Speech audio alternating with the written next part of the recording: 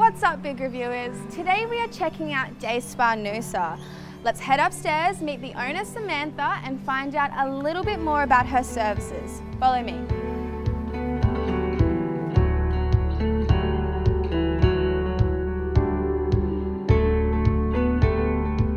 The philosophy of Day Spa Noosa is we like to keep things organic and natural. Are you in need of a couple hours relaxation? Well, I have found the perfect day spa for you.